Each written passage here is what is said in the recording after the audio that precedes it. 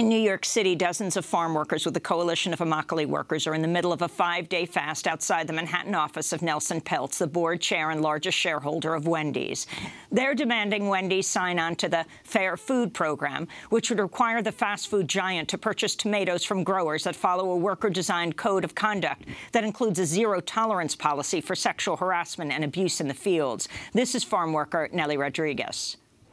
Eso para nosotros no nos desanima, al contrario,